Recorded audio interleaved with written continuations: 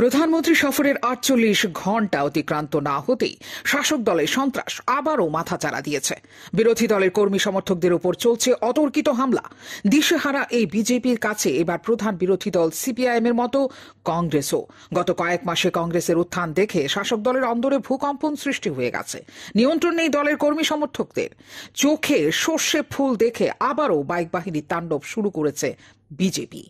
কংগ্রেস সমর্থিত হওয়ায় রাতে বাইক বাহিনী এক পরিবারের ওপর অতর্কিত হামলা চালায়। রেহাই পায়নি বাড়ির অতিথি পর্যন্ত। ঘটনা উদয়পুর মাতাবাড়ি বিধানসভা কেন্দ্রের কালাবন এলাকার মলিন দাসের বাড়িতে। বাইক বাহিনীর হামলায় মলিন দাসের পা ভেঙে যায়। আক্রান্তের শিকার তাঁর স্ত্রীও রক্ষা পায়নি বাড়িতে আসা অতিথি। বর্তমানে হাসপাতালে চিকিৎসাধীন কংগ্রেস কর্মীর পরিবার।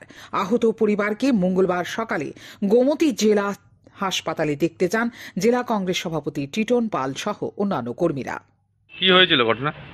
গতকাল রাত্রিবেলা নয়টা নাগাদ আমাদের কালাবন এলাকার এক আমাদের কংগ্রেসের কর্মীর বাড়িতে আক্রমণ করে বিজেপির দুষ্কৃতীরা। বিজেপির দুষ্কৃতীদের মধ্যে ছিল অন্যতম ওদের নেতৃত্বে ছিল সমর বৌদ্ধের ছেলে সুমিত বৌদ্ধ। উনি আবার সরকারি চাকরিজীবী উনি হয়তোবা বিএসএফ বা আর্মিতে এমন কোনোখানে সরকারি চাকরিজীবী। আমাদের কংগ্রেস ওই এলাকার নেতৃত্ব মলিন দাসের বাড়িতে ওনারা হামলা করে। মলিন দাসকে বেধরক পেটায়, মলিন দাসের পায়ে এবং বুকে লোহার রড দিয়ে আঘাত করে, মলিন দাসের পা ভেঙে যায়, বুকে আঘাত লাগে এবং মলিন দাসের স্ত্রীর মাথাতে কোপ কোপ মারে এবং ওরা আজকে গুরুতর আহত। ওদেরকে আজকে টেপানিয়া আমাদের জেলা হাসপাতালে নিয়ে ভর্তি করা হয়েছে। এক্স রে টেক্স সব হয়েছে। এক্স রে রিপোর্ট এসছে যে ওদের মলিন দাসের পা ভেঙে গেছে। জেলা কংগ্রেস সভাপতি টিটন পাল জানান, কংগ্রেস করায় মলিন দাসের বাড়িতে বিজেপির দুর্বৃত্তরা হামলা চালায়। গুরুতর আহত হয়েছে গোটা পরিবার। শাসক দলের বাইক বাহিনীতে নেতৃত্ব দিয়েছেন সুমিত বৈদ্য। সুমিত বৈদ্য আবার ভারতীয় সেনাবাহিনীতে কর্মরত।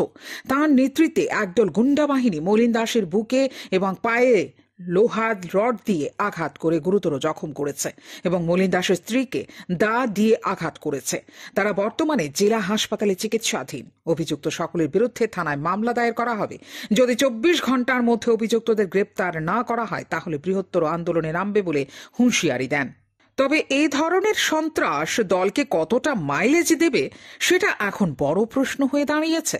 নির্বাচনী নির্ঘণ্ট ঘোষণা হওয়ার আগেই দল যে দিশেহারা, তা বারংবার স্পষ্ট হয়ে যাচ্ছে। এমনটাই মনে করছে রাজনৈতিক অভিজ্ঞ মহল। শ্যান্দন টিভি।